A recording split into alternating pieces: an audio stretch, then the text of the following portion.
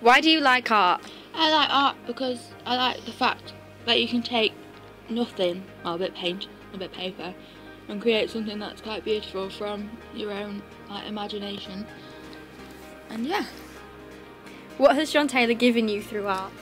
Um, John Taylor's given me the confidence to express like my own concepts and ideas and create something out of something like things that have happened in my life that I haven't been the best and create something quite beautiful out of them.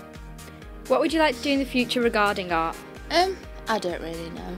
I've never known what I wanted to do, like for a living.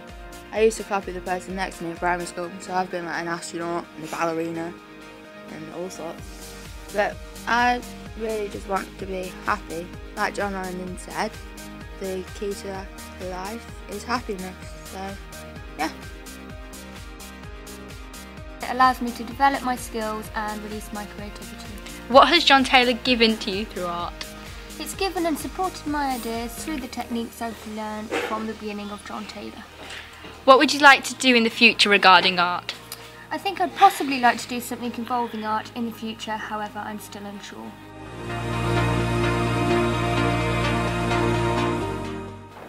What do you like about art? Um, I like art because it allows me to express myself through the different techniques and processes that I use.